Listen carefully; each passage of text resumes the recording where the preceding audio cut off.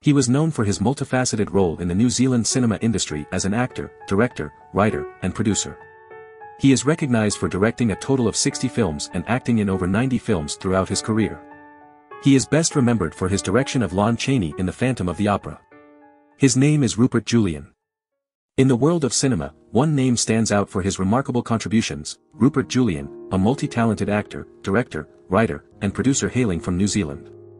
With an impressive career spanning over several decades, Julian left an indelible mark on the film industry.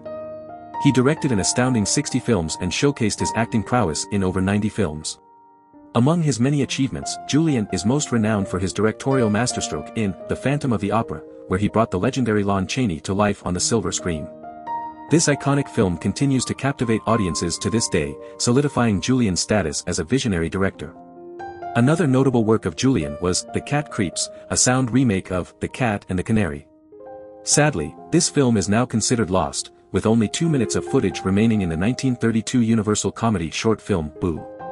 However, the impact of Julian's work is undeniable, and his contributions to the world of cinema continue to inspire filmmakers and enthusiasts alike. Rupert Julian's legacy in the film industry is a testament to his artistic vision and dedication to his craft. His ability to bring captivating stories to life on the big screen, both as a director and actor, has left an enduring impact. His films serve as a reminder of his exceptional talent and continue to entertain audiences around the world, solidifying his place in cinematic history. The early years of Rupert Julian were far from what one might expect from a future Hollywood actor. Born Thomas Percival Hayes in Whangaroa, New Zealand, Rupert came from humble beginnings.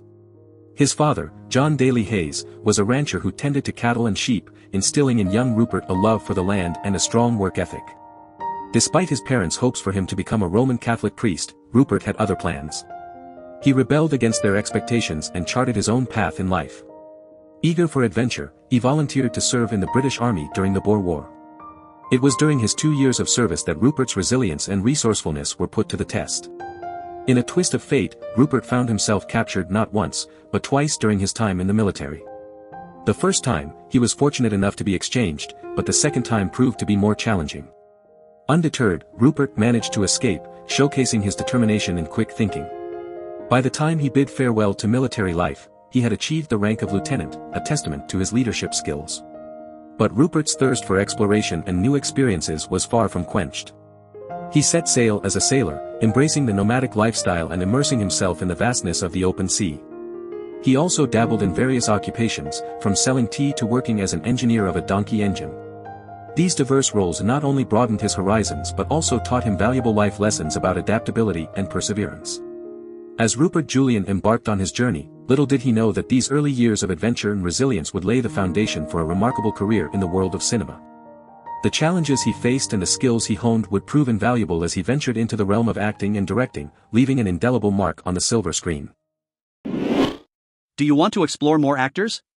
Who do you want to see featured next? Subscribe and leave a comment below to let me know.